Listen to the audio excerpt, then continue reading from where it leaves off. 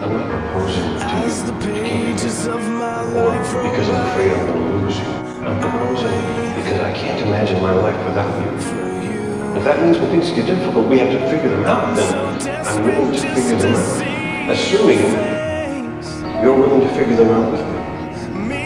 In that case, yes. Yes. I will marry you.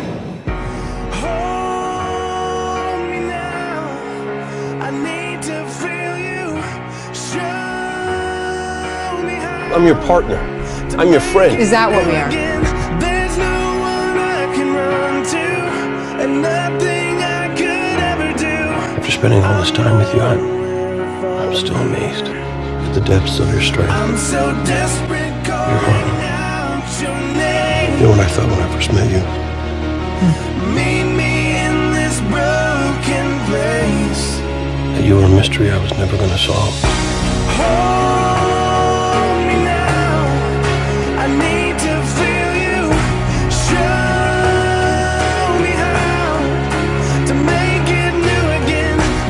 Around you just to annoy you. run to. Go right up to murder scenes in the middle of the night to satisfy some morbid curiosity.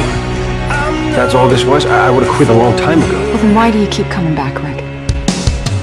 I'm tired of running and wrestling with these angels. I lay down my life and I surrender.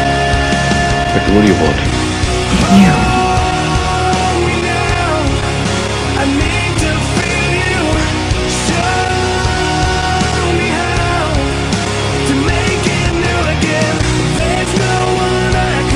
I love you. It's clear that you and Castle have something real, and you're fighting